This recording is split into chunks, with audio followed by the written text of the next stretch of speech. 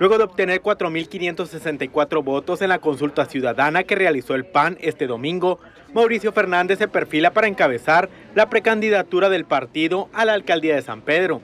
Tras el cierre del sufragio a las 18 horas y después de casi tres horas y media de conteo de votos, el dirigente estatal del PAN, Hernán Salinas, anunció que Fernández, el tres veces alcalde de San Pedro, obtuvo 74.95% de apoyo.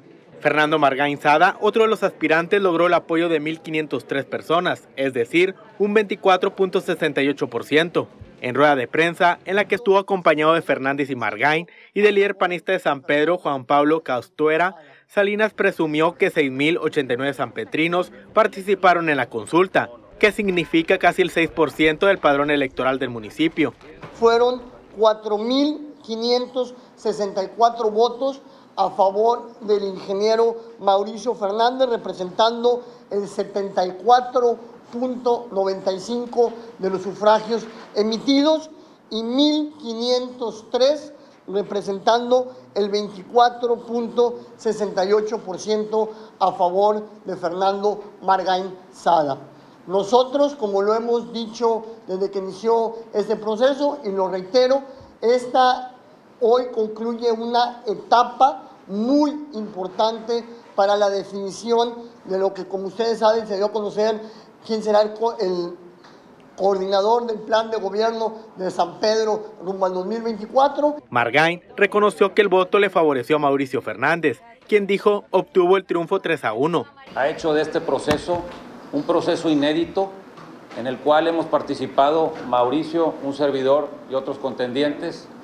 Y me parece muy importante hoy recalcar que los ganadores, el gran ganador de hoy es San Pedro.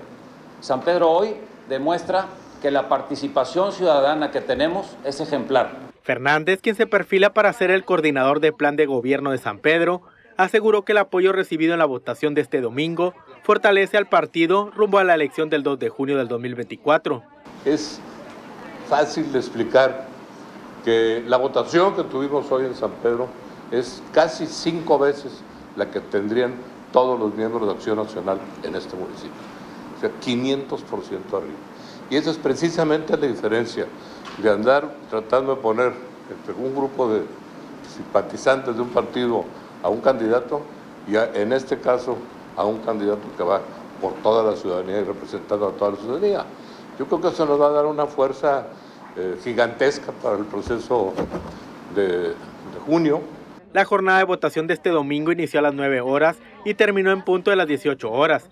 El dirigente estatal informó que será en los próximos días que se confirme el nombramiento de Fernández cuando se incluyan las encuestas telefónicas y presenciales que se hicieron. Con imágenes de Ernesto Miranda, Telediario, José Luis Marroquín.